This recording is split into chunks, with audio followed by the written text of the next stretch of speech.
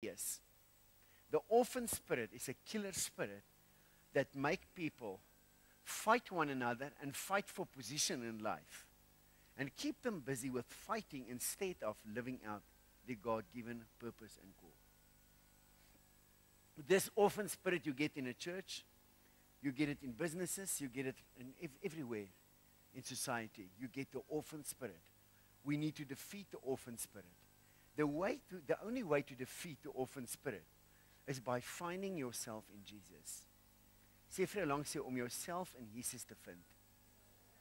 The orphan spirit is never satisfied because he's got a great longing for something that is missing.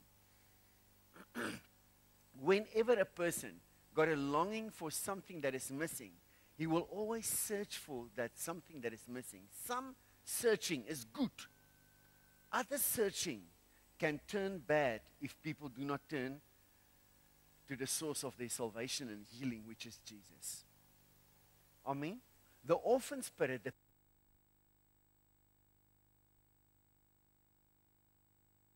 if he does not turn to Jesus, who will introduce him to his father, he will try to find it at other places. For instance, boys or young men will look for a mother instead of a wife. Boe. As daar 'n ouetjie langs jou sit dan sê vir hom, jy het nie nog 'n mamma nodig nie, jy het 'n vrou nodig.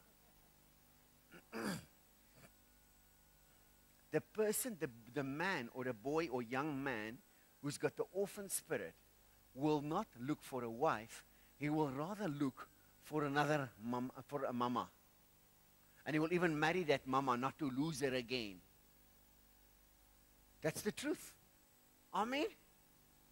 This morning there was a young man, God exposed his heart, not to humiliate him, but to help him.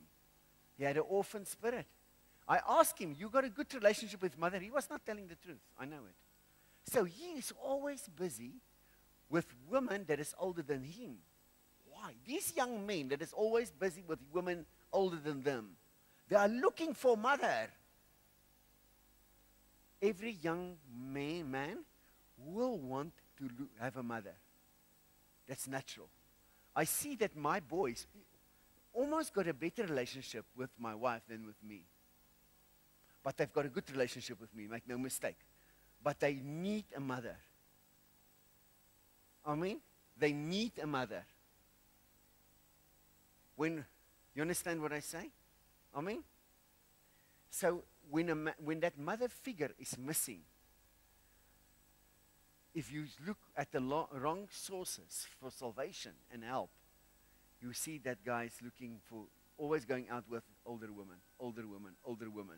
He's not looking for a wife, he's looking for a mother. And he needs Jesus to be healed. Amen? Hallelujah. Mostly, you need to forgive. How do you get free from the orphan spirit? By forgiving. Because our parents raised us as they know best. You must always understand that. Say to the guy next to you, as they have known best. They lacked a lot of knowledge. We are growing. I know more than my father and mother today. And my children hopefully will know more than I know today. In the future, they will know more because we're growing in God's word. With every generation, we are growing in God's word. Hallelujah. The woman who's got an orphan spirit will always look for love from men. And if she end up in the wrong fellowship, she will end up in bed. That woman or young woman will give everything to receive acceptance. She first need to seek an acceptance by Jesus. Then she will have, have a healthy relationship with men. Hmm? Listen, we can easily criticize, but there's always a root problem. And the root problem comes as we have shaped, our characters have been shaped by wrong choices of our fathers and mothers and ourselves. Say wrong choices of our fathers and mothers and ourselves. That's why when you come to Jesus, you break with everything. I tell you everything.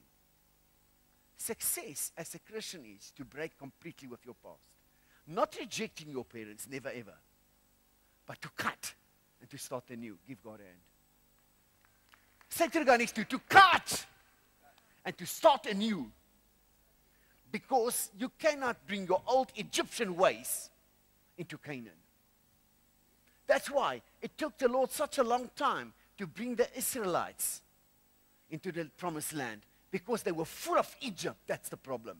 Why do you think it took them so long? I mean, it is a short, short way to Canaan. Why did they take so long? Why did it take 40, 40 years? To get the Egypt out of them. So God's got promised land for you in mind. But he, has got quite a, some battle to get Egypt out of you. Most of us is on our way to the promised land, but let me tell you, everything is known by fruit. If I look at you tonight and I look at many people, we cannot deceive ourselves. You know where you are. Are you in the desert or are you in a promised land? You speak for yourself. Where are you? Jesus wants you whole. To the next to Jesus wants you whole. But if you hold on to your Egyptian ways, you can never grow to maturity and wholeness. Leave Egypt behind.